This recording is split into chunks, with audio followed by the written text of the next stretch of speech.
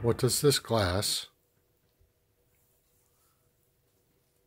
this saucer, and this coin all have in common? I think you see it right there.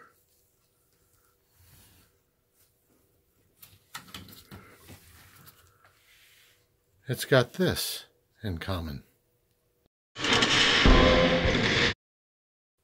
Hey everyone, Silver Steeler here. And Winning Image Photography. So, milk. Got a gallon of milk here. We got a glass we can put some in. We got a saucer we can put some in. Apparently, Provident Metals and the Canadian Mint decided to put some on this Cougar that I ordered. One of them orders where I just needed another couple rounds here and there to get over a hundred bucks so I can get the free shipping. So, you know, I wanted one of these. I've been seeing them go around on the internet and why would you even do you like milk? No, I don't like milk. You don't like milk. Well, I do. And of course, you know, she looks totally fine. But You like milk? I love milk. I like milk a lot. You know this. On your coin? No, you know I don't like it on my coin.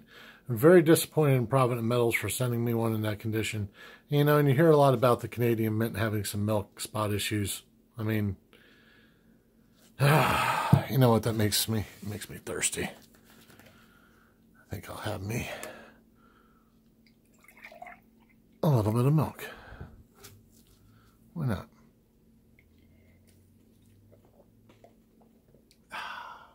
I like milk.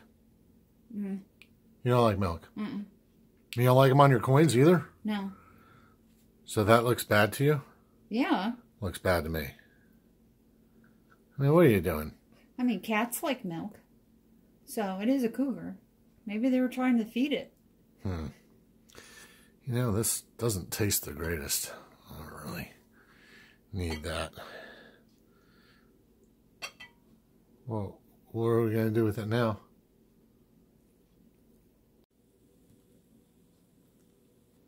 Well, it looks like we found a solution for that milk in the saucer. Well, now we got three cats drinking milk. Only fitting for a milk spotted coin that we bring out sneezing curtain. This one apparently doesn't like the milk either. But the one down there, loving it. Well, everyone, let's hope the rest of you don't get too many milk spots. We've been getting them on these Canadian coins and other rounds lately. Not happy with them. Anyway, remember to like, subscribe, and all those other good things. We'll see you on the next video.